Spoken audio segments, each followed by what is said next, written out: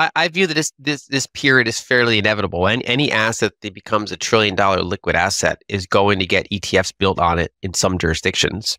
And in the United States case, um, you know, we, we have some degree of separation of powers. And so even though the SEC didn't particularly want this, they they lost in court.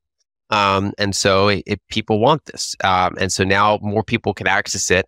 There are pools of capital that, you know, there's retirement accounts, there's managed assets, um, and a lot of them have not been able to access it. Um, and now they can. Despite the rising demand for Bitcoin facilitated by the approval of 12 spot Bitcoin ETF in the United States, many investors remain cautious about these products and their potential impact on the leading cryptocurrency network. Critics have raised concerns about centralization, the potential co opting of Bitcoin, and the risk of future confiscation.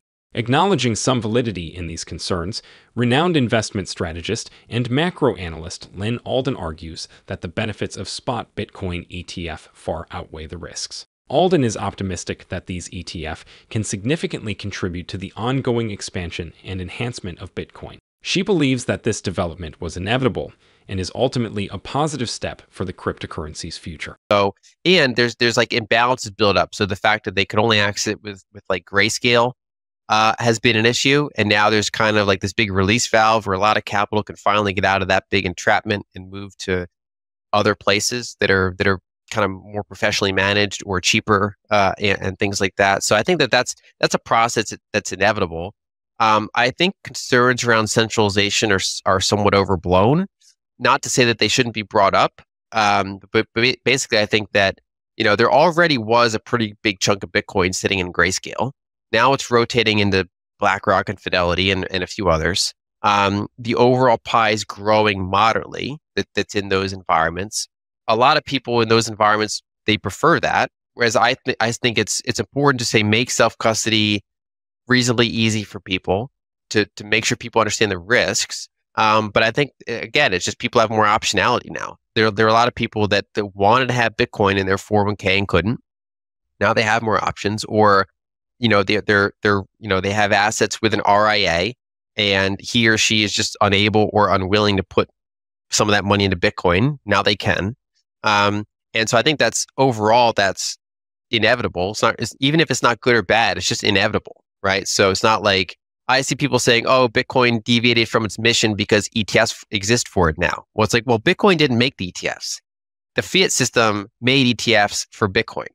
And that's that's basically the fiat system upgraded its APIs to plug Bitcoin in in this method. ETFs are basically an API into different asset classes. They decided to plug into Bitcoin now. And you know, you watch out for for big big centralized honeypots, whether it's ETFs, whether it's Binance, you know, whenever a lot of Bitcoin are in one big custodian, that is a risk. So right now, a lot of them are in Coinbase. I consider that not ideal. Um, and but so I think people should be cautious about that. If you're going to hold ETFs, you probably should diversify uh, across custodians. But I also think that you know it, it's good to take self custody. Um, and so we'll, you know we'll see where that shakeouts over time. But I think that that's just an inevitable stage that Bitcoin was go- always going to go through if it was ever going to get as big as it has now. I mean, I think there's a risk, but I, I view it as overblown because I view Bitcoin as well designed as is. Um, you know, it has a block size limit for a reason. And, you know, I, I think that basically uh, the market forces will play out. I think, you know, basically, if you view what Bitcoin is, Bitcoin is the most immutable and decentralized database we've ever made uh, as humanity the, I think the biggest killer use case for that is money. If you have a really good decentralized open ledger, money is like by far the biggest addressable market for that. That's like a hundred trillion dollar market in today's dollar terms. That's like a it's a massive market. The total addressable market for that, uh, in theory, is is huge. And the you know you can use that. You can like you can you can timestamp other things to prove that they were not changed. You can use for speculative meme tokens. I, I think most of most of those fat. I mean, that's like you know at most a few trillion dollar market, non-monetary use cases for for the most immutable database. I, I think that over the long arc of time, uh, the monetary use case is way more denser. It's a way bigger market, and it pushes that aside. I think that while while Bitcoin gets adopted, as it goes through, as more people look at it and figure out things they can do with it, it goes through these manias. It goes through fads. Um, I think they burn themselves out over time we see when you look at the altcoin space, you go through this this this boom for period, and then we forget that narrative. We go to the next big boom, then we forget about that narrative. We go to the next big boom. Now, kind of the current cycle is nothing particularly new, but taking some of that other stuff and putting it on Bitcoin. I think this is going to go through a big boom, and then a you know that that kind of washes itself out, and I'm sure someone will think of the next thing, and it will go through that that fad, and that can be disruptive while it happens but I think that ultimately that it's it's not particularly economic. If people want to, you know, if, if there's demand for meme coins, there's an endless supply of meme coins that come to the market until they saturate that demand, and then all those people that bought meme coins basically get poor, and then the the money flows to the miners, and it's annoying for people that are trying to use Bitcoin monetarily for that period of time, but at the end of the day, they still have their money. All the people that bet on JPEGs and you know, meme coins are are poorer now, unless they were the handful of sharks at the top. They were basically chilling it and cashing out at the top, and you know, th- those those kind of sharks make money, but most people lose money, and then it kind of goes back to stability. So I think that's kind of part of something that it has to go through. I heard about Bitcoin back in like 2010 or so, and uh, I was never one of those people that was like adversarial toward it. I was never like, oh, that's stupid, or but I was kind of like, what's the chance that works?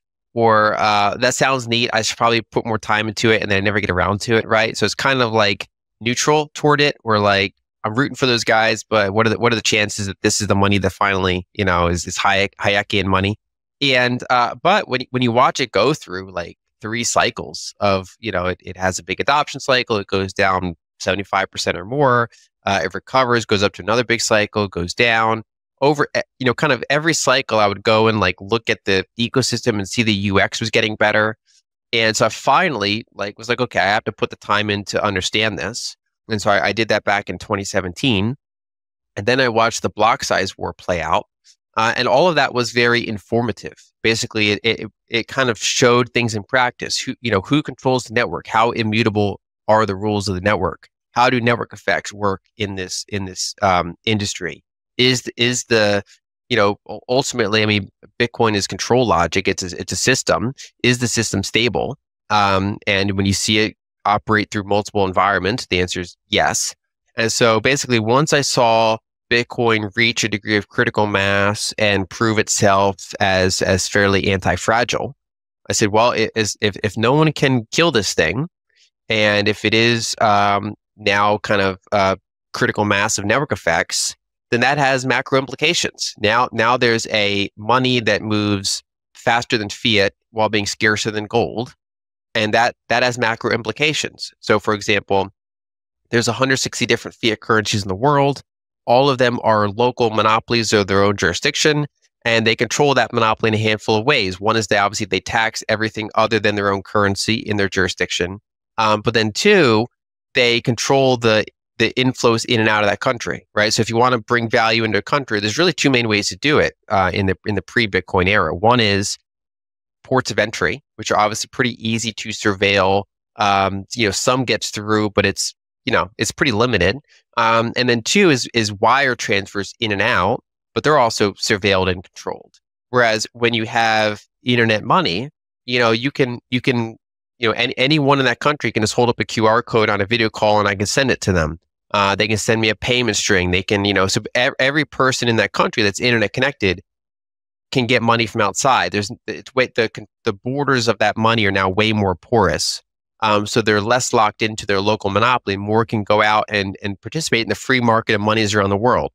So if they want, and the same thing applies to some extent with stablecoin, which is that they can say, well, I w- instead of Egyptian pounds, I want U.S. stablecoins to hold for the next three months and they're centralized, but it's a it's a market of money now. So they're saying, well, instead of my local currency, I want something that's reasonably stable that that I want to hold. And so, you know, they'll, they'll get stable coins. If they want something longer term, they'll get Bitcoin. And that that has macro implications. That breaks apart all those borders. And then when you look at macro, si- like size matters, liquidity matters. It, just just because something exists, if it's not being understood at scale, then it doesn't really matter yet. And so in the first 10 years of, of, of Bitcoin's history, it wasn't really at a size that really impacted macro. Whereas in the past five years or so, it finally got big enough where it's starting to have an impact.